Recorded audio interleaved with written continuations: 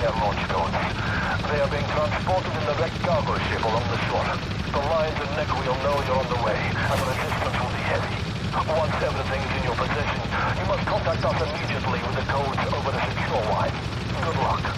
And that company, failure is not an option.